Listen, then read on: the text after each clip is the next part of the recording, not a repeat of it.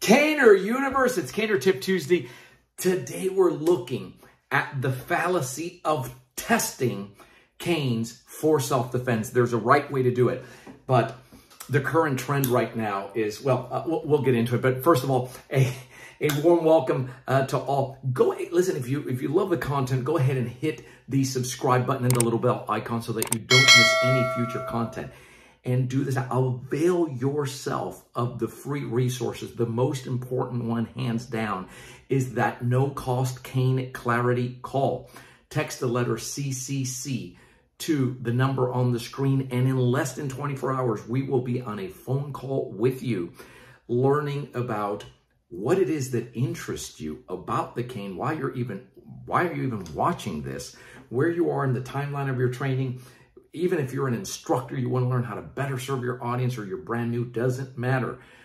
That call is going to save you tons of time, funds, and frustration in getting it right from the onset before you purchase or place any orders for anything.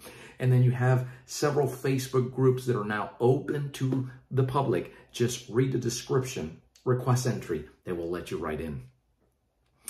So this whole thing that's, that's going on, that you, have seen, you probably have seen this. So cane manufacturers may come in and they want to show you the beating that the cane can take.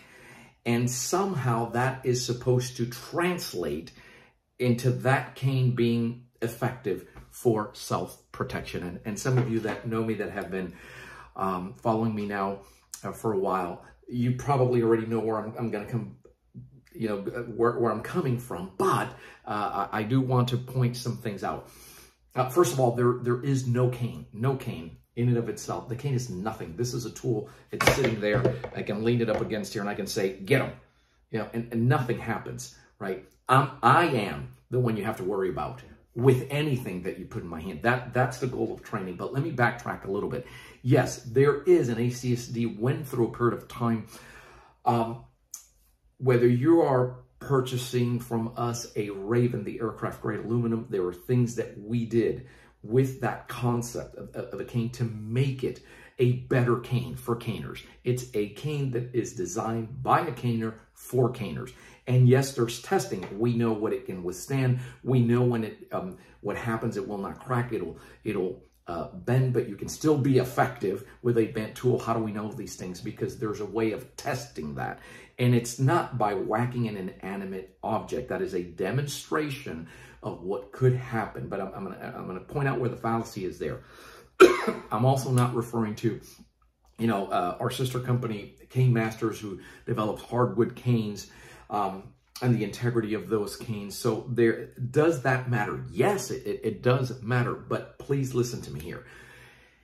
You choose that cane based on the cane strategy to sit there and pick up a cane, hit an inanimate object, right? Hard, uh, whatever it is, whatever you're, you're, you're striking, with the intent to see how much punishment the cane can take before it withers. And somehow tie that into self-protection is, it's silly. It's silly. And there is no direct correlation. And the reason for that is because self-protection is dynamic whether the cane can withstand or how much a cane can withstand upon impact. When you're going, the more trained you are, the better trained you are. So uh, this goes for ACSD, for cane flow, for sobrevivencia. The better trained you are, the least contact you're going to have to make against something else that might um, uh, damage your cane. The better, the more skilled you are, the least that's going to happen because you're not going to go force on force. We don't teach you to do that.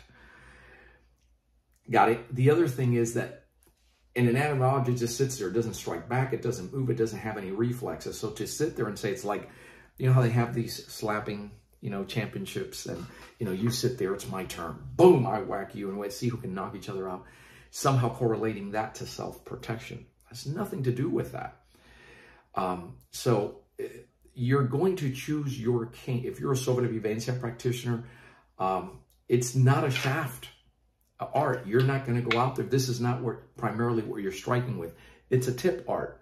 and it's so movement based, you're just not there for the incoming attack. And the whole idea is not to have to make contact in the first place. Got it? So it's okay if the intent is to see how, when if you find yourself in a self-defense situation, do you go in there thinking, well, gosh, I'm going into this. Let me see how much punishment my cane can take. Just think about that for a second. Stop and think about that for a second. And you'll see that it doesn't correlate.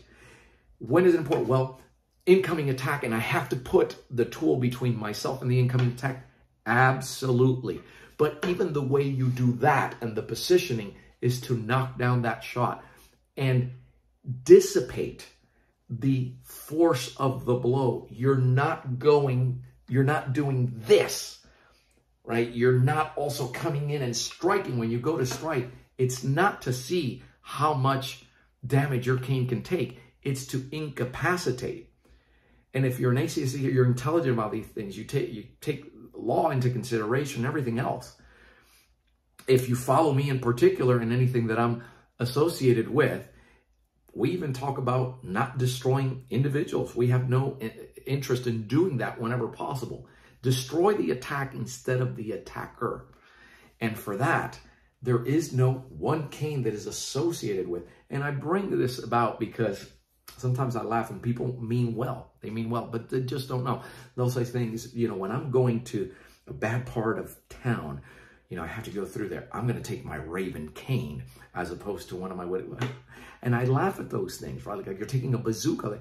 None of that has anything to do what you can do at any given moment under the duress of a self-protection situation is going to be entirely tied into your training. That's what's going to take over more so than any tool.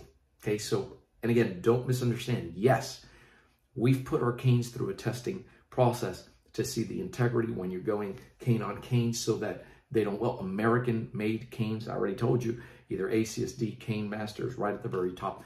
By the way, two other things. Um, you don't need any one particular cane to go through uh, to get started with training. You don't. In ACSD, it's you're going to get started with a power shot template, and you're going to need the horn and the crook, right? This, what a layperson refers to as this J handle. You're going to need it between the end of week number two, beginning of week number three, when you start using this for handling and kinesthetic training.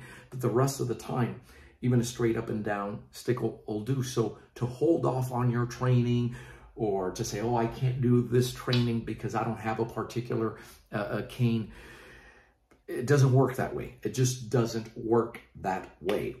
Um, get moving. You know, if, if, it has a horn and a crook and the, the measurement from here to here is three to five inches, you're good. You're good. We don't tell you to go out and start beating things and doing all that. And please don't test drugstore variety canes. We don't tell you to do that. Um, you know, on an etymology and then say, oh gosh, it wilted. Yeah, it's not designed for contact. It's a medical device. It wasn't designed for that. Wait till your, your cane gets here. And the waiting game is real. Right now, any wooden cane, um, you know, can take minimum of 30 days uh, to ship and get to you. Raven canes, when they're in, and, and like they ship really quick, but otherwise, yes, you also have to wait for those. If you're in a hurry, then don't do it. Don't don't order uh, either one from either one, you know, at, at least from us. Um, and Cane Masters will pretty much tell you the same. Uh, that's the current state. Now, when you receive your cane right across the board, right, it was well worth the wait because it's something that you're going to have forever and ever. Amen. But please don't let that get ever in the way of your training. Okay, training saves lives. All right, that's today's segment. Next week, I'll demonstrate what I just said. I'll put it and, and give you a visual, as I like to do, so that you can see um, that why we're so movement based. All right, listen, there's still in, in a couple of um, weeks is Winter Cane Immersion, and we're offering the online version because in person is already closed. Um, but you can go ahead um, and, and give us a call directly, 800-289-8188 if you've never been to an immersion before. The recordings are going to be included, and there's tremendous value in that. Just saying, right? If you like Sobrevivencia and you like that ACSD cane and empty hand, you may want to avail yourself of that. I'm Joe Robaina for American Cane Self-Defense. Thanks for watching. Keep caning. Stay safe. Thank you.